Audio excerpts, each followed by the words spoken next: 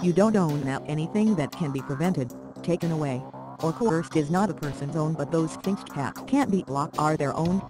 The conservationist Daniel O'Brien has said that he doesn't own his several thousand acre Buffalo Ranch in South Dakota, he just lives there while the bank lets him make mortgage payments on it. The texts joke about the economic realities of ranching, but it also hints at the idea that land doesn't belong to any individual, that it will outlast us and our descendants.